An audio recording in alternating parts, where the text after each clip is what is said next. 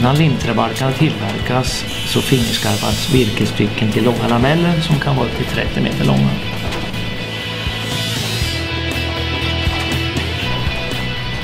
Vid den här stationen så hyvlas, limmas och staplas lamellerna upp för att gå vidare till limningsprocessen.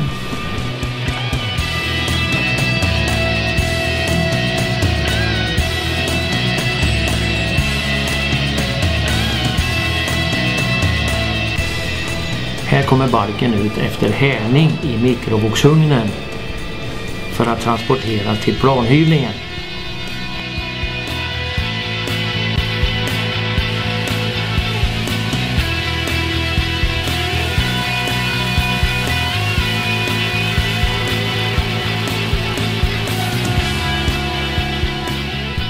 Varje balk kontrolleras så att kunden får den kvaliteten som han har förväntat sig.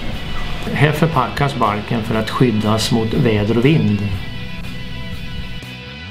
Vid tillverkning av välda balkar sker limningen manuellt. Här byggs bänken för att få den form som limträet ska få när det är färdigt. Här spänner man limterbalken mot en form.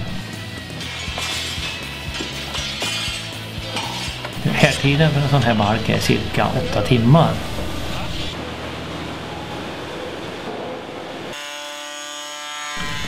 Bearbetningen av och finputsen av balkarna sker manuellt.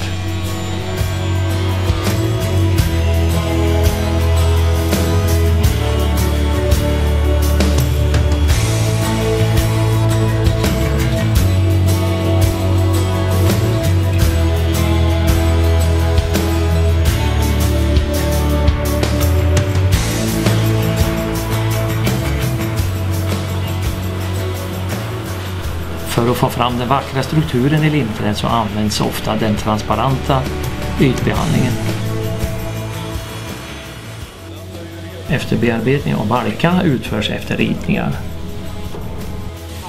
Vi kan tillverka balkar med olika ytbehandlingar som grönt, rött, alla möjliga färger. Även transparent som vi ser på bilden. Linterbalkarna specialanpassas efter kundens önskemål.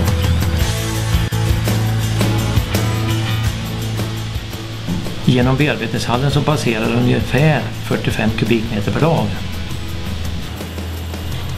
Efter tillverkning och kontroll av den färdiga produkten packas den för att vidare transporteras till kund.